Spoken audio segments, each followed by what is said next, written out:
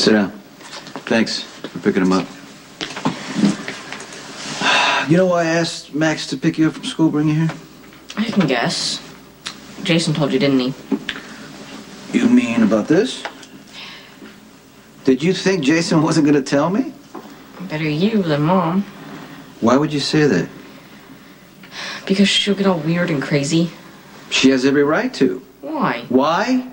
Because your mom and I have done everything we can to make sure that you're you're happy and safe and, and you have a good life. What if I want my own life? Does that mean having a gun? I heard Jason tell mom that he thinks the killer's still out there. I want to protect her. There are better ways for you to do that, Michael. How?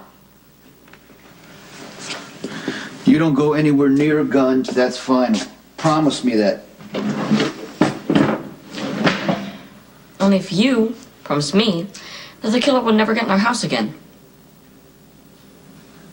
Jason has proof that this guy is still out there. That doesn't mean he isn't. You know what? You touch a gun, you're punished. Punishment is something for kids. Michael, you know what? You think you're a man, right? Okay, but you're not.